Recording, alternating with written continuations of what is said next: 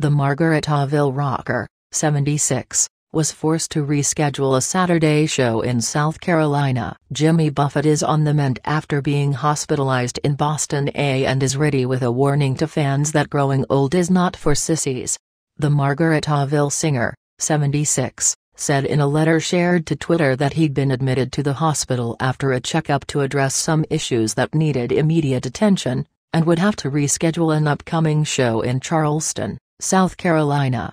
Buffett and his Coral Reefer Band were scheduled to play Credit One Stadium on Saturday. The musician began his letter with a quote from Mark Twain that read, Challenges make life interesting, however overcoming them is what makes life meaningful.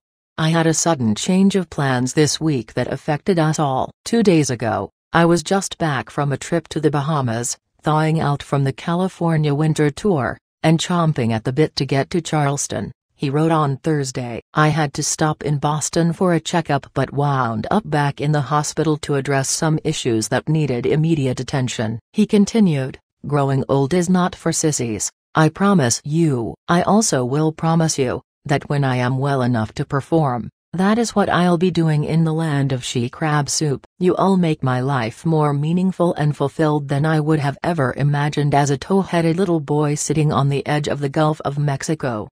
Buffett concluded his note with a thank you to his fans for their thoughts and prayers and loyalty over the years, and ended it by writing, Just remember, not yet. The star A who recovered in 2011 after falling off the stage during a show in Australia A set off on his second wind tour earlier this year. In 2018, Buffett revealed some of the steps he'd taken to keep his health in check, telling the New York Times he cut out both sugar and carbs from his diet, and swapped marijuana for vaping oils. Thanks for watching, subscribe and let us know what you think in the comments.